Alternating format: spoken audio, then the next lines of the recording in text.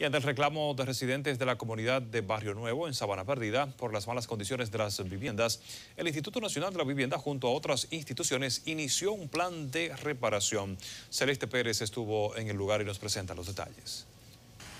La mañana de este jueves dio inicio las evaluaciones de las 1.100 viviendas que están previstas para ser reparadas.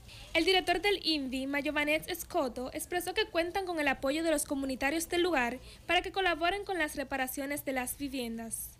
Hacer un levantamiento de todas las viviendas que están en mal estado, eh, fruto de una petición que hizo un conglomerado de juntas de vecinos de este sector y en función de eso estamos aquí con más de 60 evaluadores eh, peinando toda esta eh, manzanas, cada vivienda es diferente.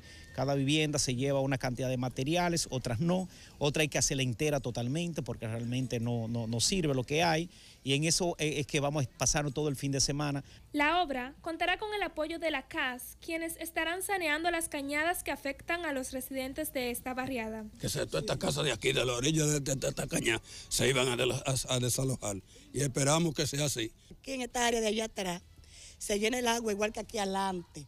Pero ya ahí se han tragado dos tractores esa caña, de tan movedizo que eso hay. Resolver el problema de la caña, ya que es una problemática bastante grande y amplia que afecta como a 15 o 20 comunidades. Las reparaciones de las viviendas contarán además con el apoyo de Desarrollo Barrial, quienes estarán llevando a Juárez a las casas que más necesitan. Celeste Pérez, CDN.